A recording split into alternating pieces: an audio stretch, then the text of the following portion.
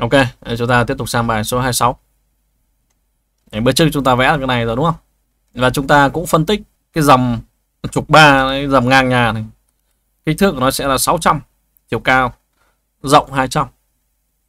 Và các bạn cũng biết, ờ, tôi vẫn nói là đối với bản vẽ kiến trúc thường chúng ta sẽ phải thể hiện cái kích thước hoàn thiện. À, được chưa nhỉ? Nhưng mà nó cũng có khá là nhiều những cái điều ờ, bất cập. Các bạn có thể thấy, ví dụ như là tôi nói là cột 200 200 thì thường ấy thợ nó sẽ đổ à, bê tông ghép cô pha là đo để 200 200 và khi mà tô hoàn thiện ấy thì mỗi phía là chúng ta thêm khoảng 1,5 phân cái lớp hồ tô nữa. Thế như, như vậy nếu mà trên cái bản vẽ kiến trúc nói như chúng ta ấy, thì chúng ta phải thể hiện cái cột này là gì? 230 nhân 230 chứ đúng không? Còn nếu mà vẽ 200 200 như này thì khi mà thợ ghép cô pha nó chỉ đổ là gì?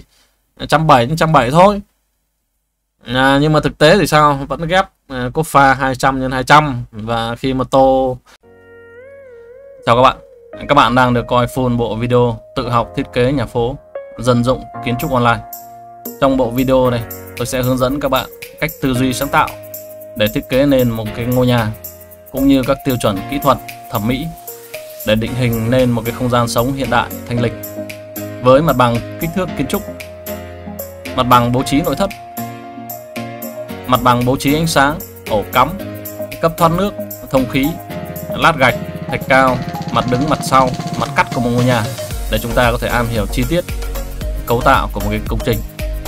Bộ video này rất phù hợp cho những bạn là sinh viên, những bạn nghiệp dư không được đào tạo về xây dựng hay là kiến trúc nội thất, chỉ cần yêu thích đều có thể học và làm theo được.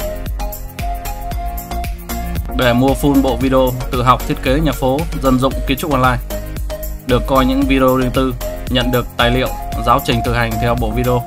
Các bạn có thể liên lạc với tôi qua Zalo, số phone hoặc địa chỉ Facebook. Chúc các bạn học thành công.